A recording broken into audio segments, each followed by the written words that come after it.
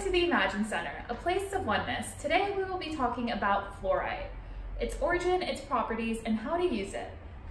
Fluorite comes from Argentina, Germany, France, and Russia, most commonly, and it's mostly made out of quartz and calcite. Its common properties are that it's a very peaceful and stable crystal. It soothes anxiety and brings instant calm. It's also really great for protecting and healing all of your chakras. Fluorite brings mental clarity and helps with concentration, so it's very great to use in school or when you're working. Fluorite works with rainbow energy, so that means that it's healing and protective.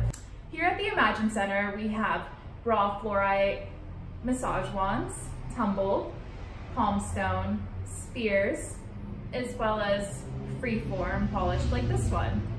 Further ways to use fluorite are during meditation.